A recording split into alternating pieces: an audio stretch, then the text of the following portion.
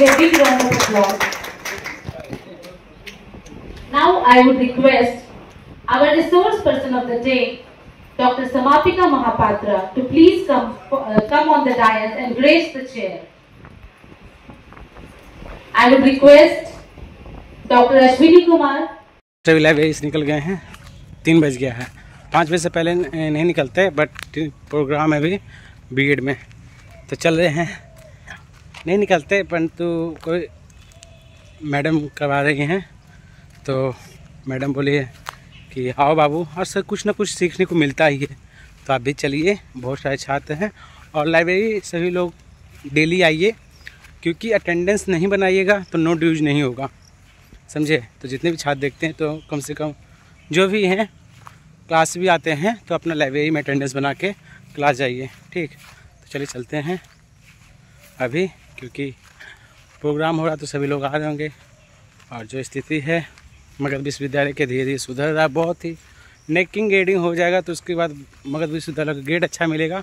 तो और आप सभी के लिए फ़ायदा होगा, बहुत फ़ायदा। ठीक, चलिए चलते हैं लाइब्रेरी, सॉरी राधा कृष्णन से, सेमिनार हॉल। ठीक तो आप सब भी बने रहिए। और आज एक चीज़ मैं आपको बताऊँगा, ट्रांसक्रिप्ट के ऊपर एक वीडियो आएगा बहुत जल्द ही ज्वाइंट मेम्बरशिप के लिए। ट्रांसिप्ट जो लेते हैं कैसे लेते हैं उसके ऊपर मैं आज दो घंटा तीन घंटा समय दिया हूँ। ठीक तो चलिए चलते हैं पहले वहाँ। में चलते हैं ऊपर।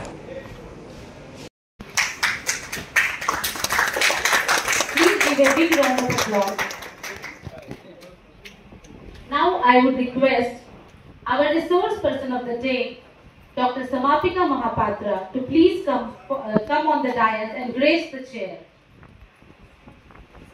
I would request Dr. Ashwini Kumar person Professor Nivasi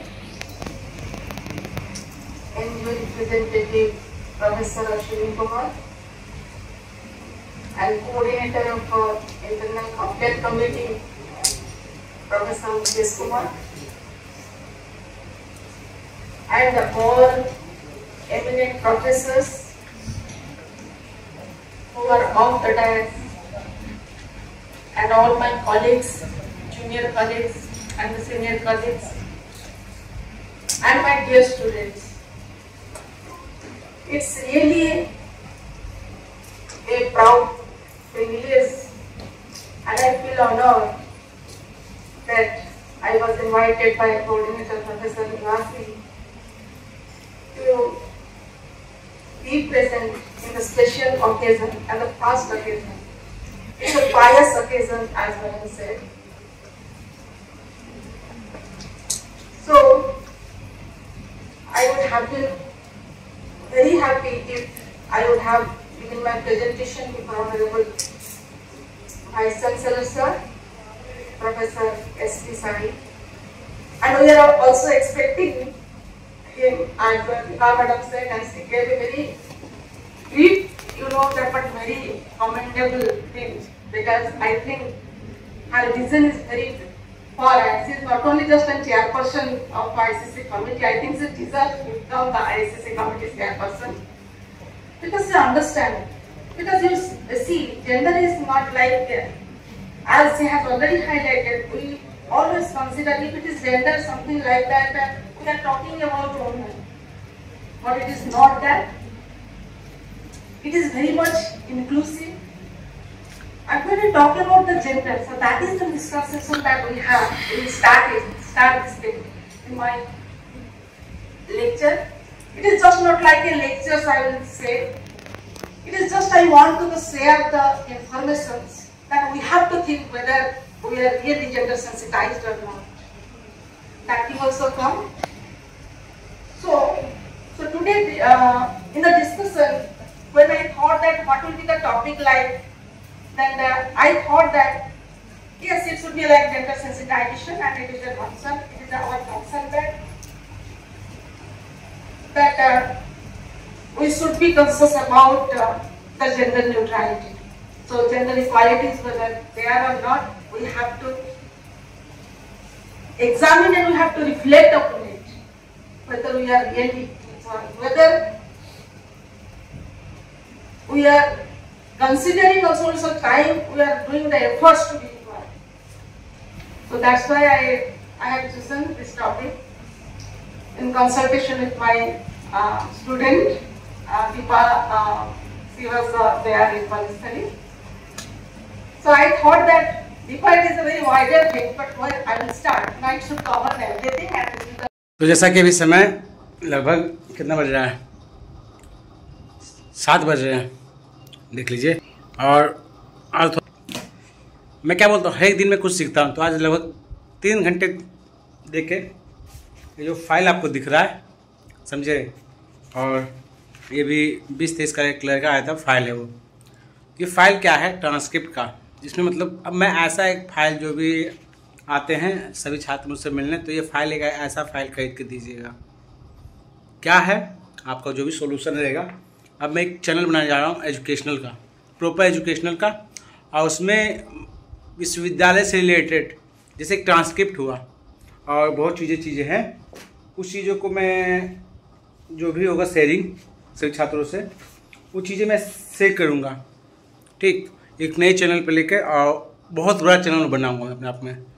वो एजुकेशनल का एजुकेशन के लिए बहुत बड़ा चैनल बनने जाएगा बहुत बड़ा। उस चैनल का नाम रहेगा पंकज ब्रॉडकास्ट। क्योंकि जो मेरा एक चैनल है देख रहे हैं आप, ये चैनल मेरा पूरी तरह से हैक हो गया है, ये तो नहीं कर सकता, बट ये चैनल पूरी तरह से डेड हो चुका है। ना इस पर अब लाइव आ पाते हैं, पंकज ऑफिशियल पे, ना कुछ। और वही टेंशन था, ठीक। और बेफिक्र रहिए एक एजुकेशनल का मैं बोलो ना, मैं ऐसा चैनल खड़ा करने वाला हूँ। मतलब हाई एजुकेशन को लेकर कि सभी के एनालिसिस जैसा कि ये ऐसी तरह से फ़ाइल लगभग पचास से साठ फ़ाइल मुझे बनाना है। और जो भी छात्र आइएगा, ठीक, मुझे फ़ाइल खरीद के ज़रूर दीजिएगा। मैं आपको बता रहा हूँ, आपका एक फ़ाइल खरीद के देने से एक बहुत बड़े, बहुत लेवल के, बहुत बड़े लेवल के मैं चीज़ करने जा रहा हूँ। और वो भी कब से? सितंबर सॉरी अगस्त से चालू कर दूँगा मैं। लगभग पाँच से छः अगस्त से, क्योंकि मुझे एक सिम भी लेना पड़ेगा। ठीक, वो मेरा पर्सनल सिम रखूँगा, मैं किसी को नंबर शेयर भी नहीं करूँगा। और जहाँ तक है, ठीक, कल मगध विश्वविद्यालय का लास्ट डेट है। लास्ट डेट क्या है? पीजी का कल लास्ट डेट है, इकतीस तारीख, बाईस चौबीस वालों का। उसके बाद सही सभी को क्लास आना पड़ेगा, और क्लास नहीं आएगा तो दिक्कत है। अभी आए हैं, और कपड़ा वपड़ा सब जो भी है धो धा के प्रेस करेंगे इसको। और उसके बाद, सच में, मैं एक बहुत बड़ा अगस्त में कब, किन, कौन से अगस्त को चालू करूँगा, वो तो मैं सिम खरीदने के बाद ही पता चलेगा। नए सिम से नया चैनल बनाऊँगा और सिम मैं अपने लिए, लाइफ के लिए इम्पोर्टेंट रखूँगा। और जो भी छात्र वीडियो को देखते रहे, उस चैनल पर एजुकेशनल का एक चैनल आएगा।